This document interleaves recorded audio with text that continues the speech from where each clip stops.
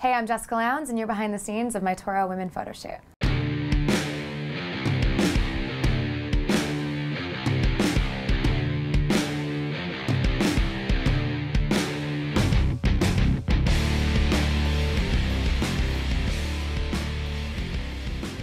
Today's shoot was really fun. The whole vibe is kind of this vintage, ethereal, voyeurism, sort of Mad Men-esque vibe, and the whole feel is like you're watching someone in their own apartment doing their own thing and they have no idea that someone's watching them, so it's, it's very sexy and cool. I was shot at the Fairmont Pacific Rim, right on the water, and it feels so good to be back in Vancouver, my hometown. The clothes were gorgeous. a lot of amazing like sheer tops and lingerie bottoms. Um, rocking kind of a lingerie top right now, but it's kind of got a vintage vibe, which just makes it very classic and elegant, which I love. My personal fashion style would be feminine chic, I guess. I like to be comfortable, and I like sticking with the classics, but I also like taking a risk.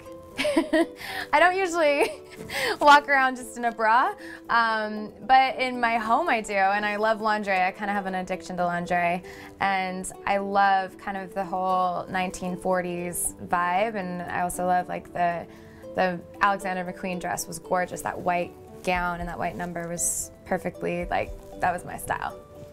I've been comfortable in front of a camera since I was three years old.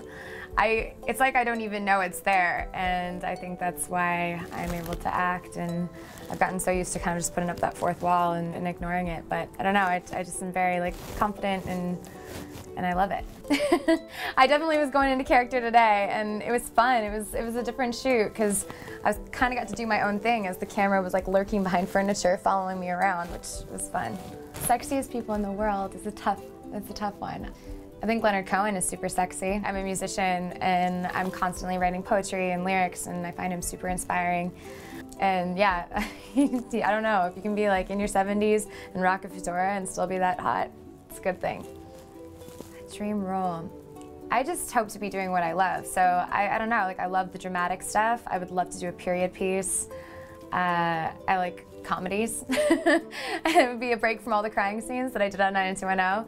So yeah, I just, I think just working would be a dream in itself. Music has just been a love of mine since I could speak, and I've been singing since I was three and writing music since I was nine.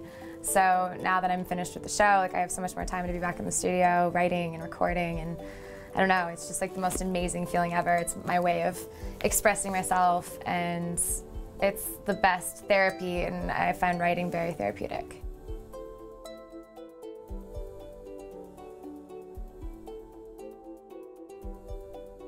Three random things about me. Uh, I have the biggest sweet tooth on the planet. I am obsessed with anything with frosting.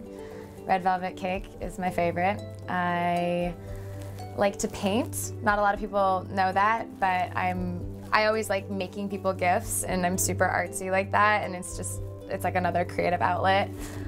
And I'm from Vancouver. Not a lot of people know that I'm a fellow Canadian and I grew up right here on Canadian soil and it feels really really nice to be working in my hometown.